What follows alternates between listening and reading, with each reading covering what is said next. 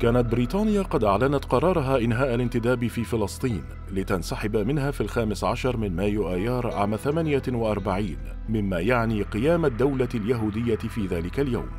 أما على الأرض فقد انسحبت القوات البريطانية مبكرا من عدة مواقع. الأمر الذي مكن العصابات الصهيونية من الاستيلاء على كثير من مدن وقرى الساحل الفلسطيني.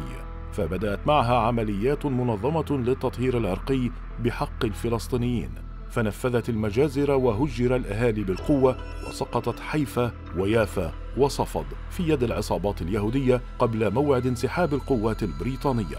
ومع تلك المجازر ظهرت قوة العصابات الصهيونية التي كانت نواة للجيش الإسرائيلي فيما بعد إذ كانت على درجات عالية من التسليح والتدريب.